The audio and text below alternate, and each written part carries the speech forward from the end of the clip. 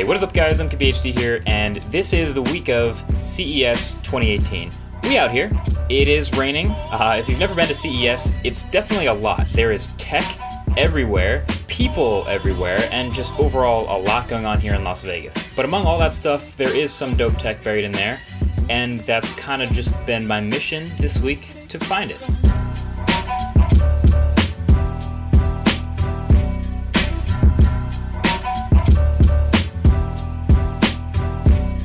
So one of the most buzzworthy news-making things we've seen this year at CES is Razer Project Linda. And Razer, they tend to get all kinds of attention at CES for something they're showing every year.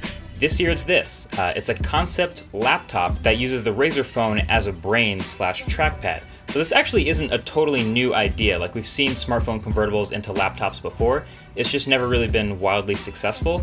Razer hopes to do it best though, of course, because of the Razer phone's prowess. It's already an awesome phone with great speakers, so it doesn't have to have extra speakers in the laptop, things like that doesn't need a processor or RAM, it's just using the Razer phone. In fact, the only hardware actually in this Linda laptop are the RGB keyboard, because of course, uh, the battery, a webcam up top, and a couple ports. The headphone jack, USB-C for charging, and full-size USB-A on the other side for adding accessories like a mouse. Other than that, it just pops the Razer phone in and out with a single button. It sits flush, it has the matching color with the Razer Blade Stealth laptop, has this little notch cut out at the front that uses the fingerprint reader and the power button from the phone. Uh, I think the design is actually pretty well thought out. It's just debatable if this is actually a practical product or not at all. Now for Linda, there is no price range or release date yet. It's a pretty common trend for stuff we see at CES. Um, but I, I, do really like the design. I think it's really interesting. It's just weird to build an entire accessory like that all around a smartphone that's probably going to be updated in a year. Like in 9, 10 months when we see Razer Phone 2, is this whole laptop people just bought for their phone not going to work? Is compatibility going to work? Do the dimensions stay the same? That kind of thing. That's tough. I'll keep an eye on that one. Now, I also made it to Sennheiser's booth, and they were showing exactly one thing that I was super interested in, and it's the whole reason I went, which is Sennheiser HD820. So I just showed like the custom HD800s I've been using for a while by Sennheiser in my last video, the setup tour, but these will allegedly take that to a new level by isolating sound with the glass over the back of the ear cups. You can see it, it's this concave Gorilla Glass. So basically, they retain a lot of the characteristics of open back headphones like the HD800s, the big drivers, the open nature of it, the wide soundstage, but it now seals you off from the noise on the outside of your environment for people who don't want to hear all that. So this I am definitely interested in. I was able to listen to them for a bit. I can confirm they sounded incredible, but yeah, I'd love to actually get these into the studio and put them to work. They look incredible. Uh, they will be selling these, and they will be expensive. I'm thinking two to three thousand dollars. Super expensive headphones. And then over in a hotel near the strip, I also found HTC's setup pretty interesting, where they're showing some new announcements to HTC Vive. A lot of you might not know, I've used the Vive headset a lot. We have one in the studio, and they announced two pretty important things. One is they now make a Vive Pro, which is this all built into one headset with headphones and the strap over the top, a high resolution display inside, better tracking. Basically, it's a much improved VR experience for those who want the best of the best. You can also still buy the regular original HTC Vive, but then number two, they showed an HTC Vive wireless adapter, which sort of looks like this uh, bug antenna on your head that plugs into the headset.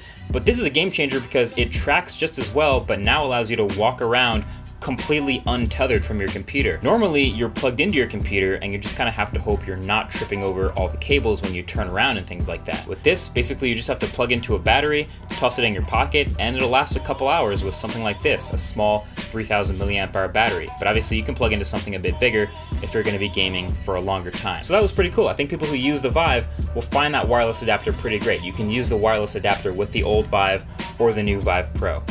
Also, I'm aware that using their green screen set for that kind of opens people up to mess with the footage, but I guess too late to change that. Alright, some other things. Razer also at their booth had this pretty ridiculous looking pair of desktop speakers and a subwoofer. Uh, they look pretty badass. They of course had RGB again at the base because you know, RGB. But I have no idea how good they sound because it's way too noisy on the show floor, but I'll be interested in checking those out. Audio Technica also brought a lot of new stuff. They had like 10 new pairs of headphones in their booth, some gaming headsets, some open back, some of these wireless noise canceling headphones that look like they're aiming to rival the Bose Quiet Comfort series. And then they also let me try out their top of the line ADX5000, so $2,000 open back headphones. And don't get me wrong, they sound great, but they're open back, so I'm on the show floor where it's super noisy, so there's there's no way I can fully appreciate them quite yet. But pretty much all of these are going on sale soon if they haven't started already. There's also tons and tons of drones at CES. One weird one I didn't expect was in the Yamaha booth. It was massive. It looked about the size of like three people put together. Uh, I know about zero other information about this drone other than it looked really cool. It looked like it could go about 200 miles an hour, but that's just me looking at it. But what was really cool in their booth is this, which is a self-balancing motorcycle, which didn't really impress me at first when I first saw it, until I realized those side wheels aren't touching the ground. This bike is completely standing on its own on two wheels, and that guy is pushing it around and it's just kind of responding by shifting its weight and staying upright. That was a pretty cool demo. But speaking of those drones, DJI's booth also had some pretty cool stuff, as they usually do, including their Osmo Mobile 2. Uh, it's a much cheaper stabilization than the original Osmo, something like 50, 60, 70 bucks cheaper than the original. Super lightweight, but it still does pretty much all the same stuff. Smartphone control, a nice handle, a grip for video, or a remote start stop. I can see a lot of people picking this up, and this is, of course, also actually going on sale. But so far, in the first day I've been here, that is what I've seen that looks pretty cool but literally as I'm uploading this, I'm probably literally going back to the show floor to check out some more stuff. So if you see cool stuff that you think is worth showing on video or checking out or exploring, hit me up on Twitter, send me the link. If you're on the subreddit, send it there too. I'm checking that now. And that's pretty much it. See you guys back out in Vegas. Thanks for watching. Catch you in part two. Talk to you in the next one. Peace.